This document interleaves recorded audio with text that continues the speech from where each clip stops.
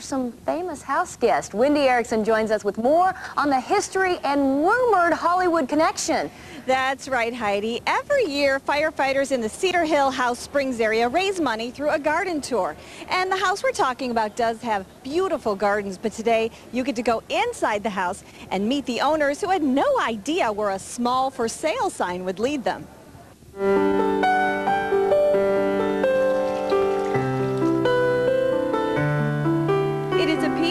Paradise Jim and Sherry Crandall happened upon one day while driving through House Springs. And I saw this little sign off the highway. It said for sale. And I said, what's behind there? Because you couldn't see anything. When they finally could see, they liked what they saw. For more than 12 years since, it's been a labor of love. Keeps me busy almost every day. Every day I would do a little bit of everything. From where you're standing, straight back was nothing but woods. We carved it out into a park. The place, named Pride's Crossing, includes four acres of secluded land and a house with a lot of history.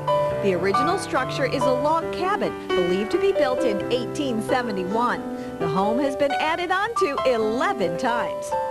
This has all been carved out. The claws and the various shelf boards. The Crandalls have kept most things the same as when they bought it from the previous owner.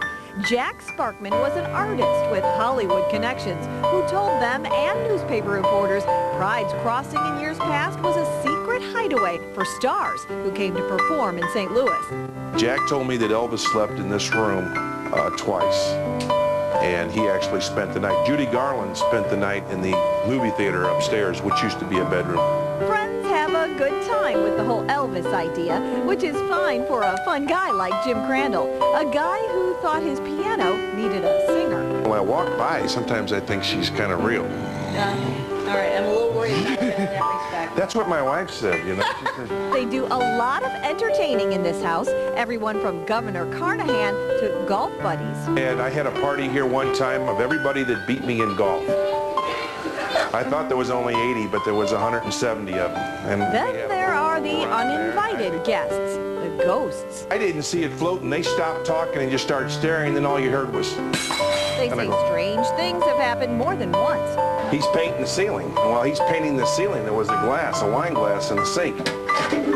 And it was going around in a circle like this. The Crandalls take it all in stride, hoping maybe people from the past are actually protecting the paradise they now get to enjoy.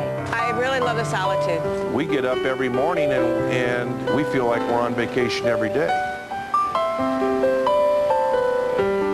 Now, the Crandall's garden, just the garden, not the house, is one of the seven gardens on the Cedar Hill Firefighters Garden Tour. The tour is coming up on